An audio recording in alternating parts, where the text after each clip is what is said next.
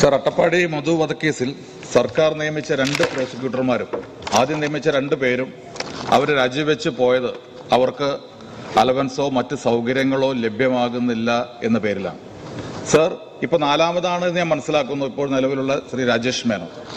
ശ്രീ രാജേഷ് മേനോനും ഇത്തരത്തിലുള്ള യാതൊരു സൗകര്യങ്ങളും ലഭ്യമാകുന്നില്ല എന്ന് മധുവിന്റെ അമ്മ ശ്രീമതി മല്ലി ബഹുമാനപ്പെട്ട മന്ത്രി ശ്രീ കൃഷ്ണൻകുട്ടിക്ക് പരാതി കൊടുത്തതായി പത്രങ്ങളിൽ വാർത്ത കണ്ടു സർ. സർ അങ്ങ് തന്നെ ഈ സഭയിൽ ഒട്ടനവധി കേസുകൾക്ക് കോടിക്കണക്കിന് രൂപ അഭിഭാഷകർക്ക് നൽകിയെന്ന് ഈ സഭയിൽ പറഞ്ഞിട്ടുണ്ട്. പക്ഷേ ഈ പാവപ്പെട്ട മധുവിന്റെ കേസിൽ എന്തുകൊണ്ടാണ് സർ അഭിഭാഷകർക്ക് ലഭ്യമാകേണ്ട പ്രോസിക്യൂട്ടർ ലഭ്യമാകേണ്ട അലവൻസും മറ്റ് സൗകര്യങ്ങളും സമയബന്ധിതമായി നൽകാത്തത്? സർ മധു എന്നൊരാൾ ഈ നാട്ടിൽ ജീവിച്ചിരിപ്പുണ്ടായിരുന്നോ എന്ന് പോലും സംശയിക്കുമാറ്. അദ്ദേഹം മരണപ്പെട്ടിട്ടുണ്ടോ എന്ന് സംശയിക്കുമാറാണ് കാര്യങ്ങൾ നീങ്ങിക്കൊണ്ടിരിക്കുന്നത്. ഈ പ്രതികളുടെ ജാമ്യം റദ്ദാക്കിയ ജഡ്ജിക്കെതിരെ ഭീഷണി ഉണ്ടായി എന്നത് സംബന്ധിച്ച് സർക്കാർ അന്വേഷണം നടത്തിയിട്ടുണ്ടോ?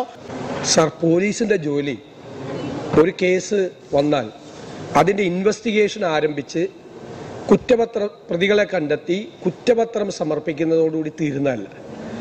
പ്രതികൾക്ക് യഥാർത്ഥ പ്രതികൾക്ക് ശിക്ഷ വാങ്ങിച്ചു കൊടുക്കുന്ന പ്രോസിക്യൂഷൻ നടപടികൾക്ക് വരെ നേതൃത്വം കൊടുക്കേണ്ടത് സഹായകരമായി നിൽക്കേണ്ടത് പോലീസാണ്. ഇൻവെസ്റ്റിഗേറ്റിംഗ് ഓഫീസേഴ്സാണ് പോലീസ് സംവിധാനമാണ്.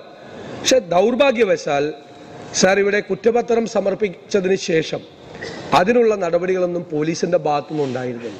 വ്യാപകമായി സാക്ഷികൾ കൂറുമാറിയത് മാത്രമല്ല പ്രശ്നം. ഈ മധുവിന്റെ അമ്മയെ വരെ ഇവിടെ പറഞ്ഞതുപോലെ അമ്മ- അമ്മയെ വരെ ഭീഷണിപ്പെടുത്തുക അതുപോലെ പണം കൊടുത്ത് സാക്ഷികളെ സ്വാധീനിക്കുക ഭീഷണിപ്പെടുത്തി സാക്ഷികളെ സ്വാധീനിക്കുക തുടർന്ന് ഒരു കേസ് അട്ടിമറിക്കുന്നതിന് വേണ്ടി എന്തെല്ലാം ചെയ്യാൻ കഴിയുമോ അതെല്ലാം ചെയ്തു. മാത്രമല്ല ഇപ്പോൾ പോലീസിന്റെ ഭാഗത്തു നിന്നും സർക്കാരിന്റെ ഭാഗത്തു നിന്നും ഉണ്ടായ ഗുരുതരമായ വീഴ്ച. രണ്ട് പ്രോസിക്യൂട്ടർമാർക്ക് ആനുകൂല്യങ്ങൾ പോലും കൊടുക്കാത്തത് കൊണ്ട് അവർ സ്ഥാനം ഒഴിഞ്ഞുപോയി കാര്യങ്ങൾ നമുക്ക് ആവർത്തിക്കാമോ? നമ്മുടെ മുന്നിൽ നമ്മുടെ മുന്നിൽ വാളയാറിലെ മരണപ്പെട്ട രണ്ട് പെൺകുട്ടികളുടെ മുഖം നമ്മുടെ മനസ്സിൽ നിൽക്കുകയാണ്. അതിലെ ജഡ്ജ്മെന്റ് അതിലെ ജഡ്ജ് എഴുതിയ ജഡ്ജ്മെന്റ് നമ്മുടെ മുമ്പിൽ നിൽക്കുകയാണ്. സർ വാളയാറിലെ കേസിലുണ്ടായ ഗതികേട് മധുവിന്റെ കേസിൽ ഉണ്ടാകരുത് എന്നാണ് എല്ലാവരുടെയും ആഗ്രഹം.